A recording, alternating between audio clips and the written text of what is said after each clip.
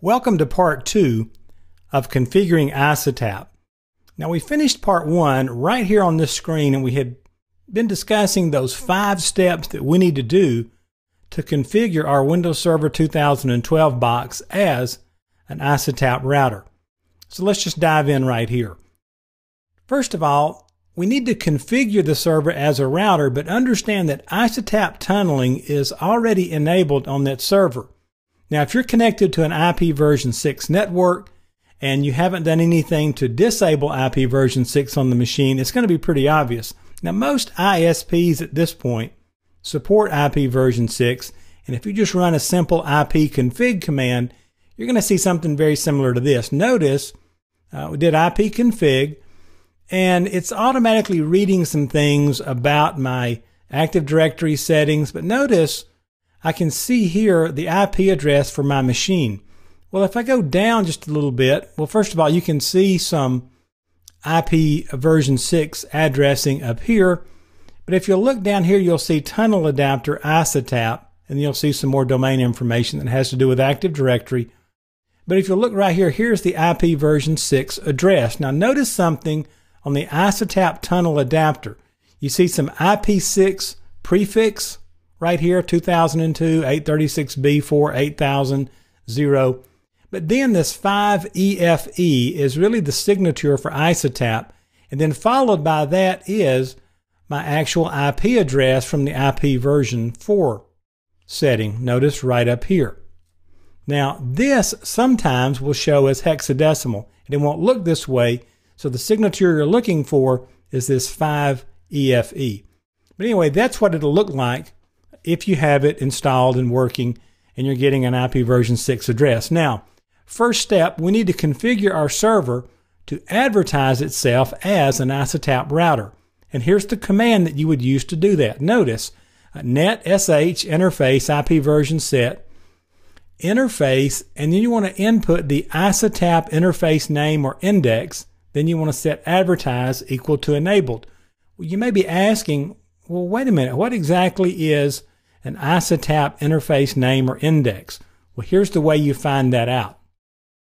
At a command prompt, type netsh interface IP version 6 show interface, and you will get this type of printout. Now, when this data comes back, simply look at the index. Notice 12 is for the ISATAP interface. And so index 12 is what we're going to use. And so we would execute this command set interface 12 to advertise equal enabled. Then our second command, we need to provide the ISATAP prefix to our hosts. And this is to inform the ISATAP hosts which prefix to use when they configure their own ISATAP adapter. Now, if the prefix I want to use is the one that I pointed out to you just a couple of minutes ago, 2002, 836B, 4, and 8000, and notice we're using 64 bits as our network ID, then once again, I'm going to use the netsh command and I'm going to send it uh, netsh interface IPv6 add route and I give it the prefix that I want, the interface ID publish equals yes. And at that point, I have published the prefix that I want. Then I will configure the router to forward packets. Now I've told it to begin to advertise itself. I've told it the prefix. Now I've got to tell the router to forward packets with that prefix to the IP version 6 network. Once again, I'll use the netsh command to enable forwarding on the NIC. Notice this is a network interface card that's in the machine, not the tunneling adapter. And so I will call netsh interface. And notice I will choose set interface, and this is the LAN interface name or index, and the advertise is enabled.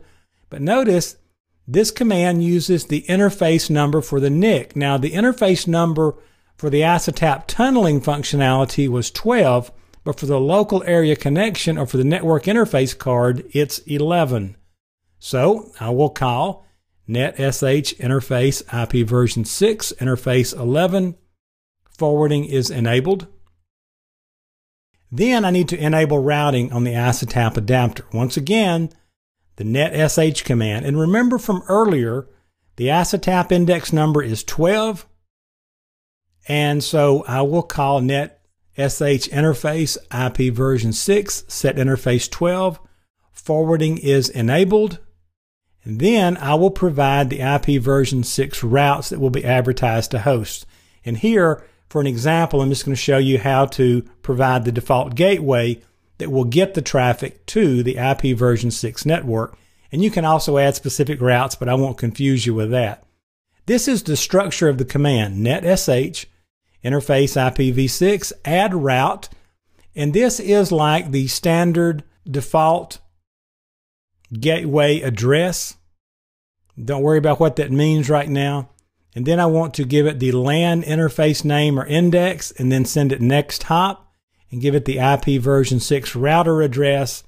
Set the publish property to yes. And this is what that would look like in English with all of my information from this network.